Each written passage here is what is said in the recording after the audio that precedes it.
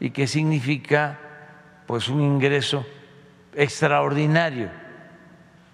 Esto tiene que ver con la venta de Banamex.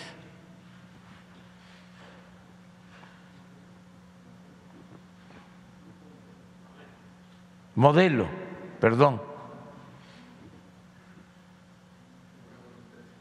Sí, modelo.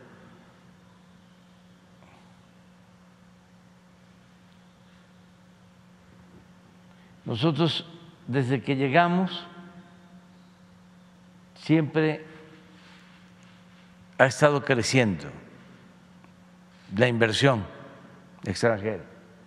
Aquí se redujo por los efectos de la pandemia, pero de todas maneras estuvo arriba del 18, del último año del gobierno del licenciado Peña.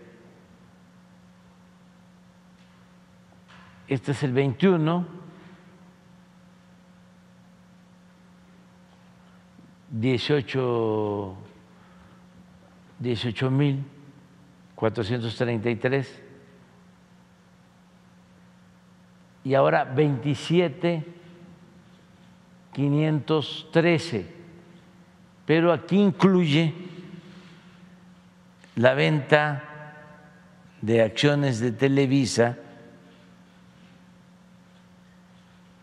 y también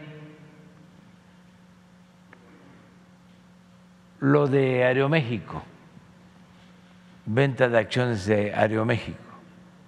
Sin embargo, si se descuenta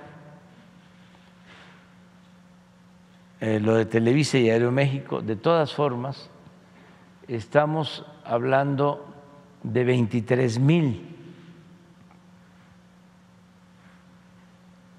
millones de dólares, primer semestre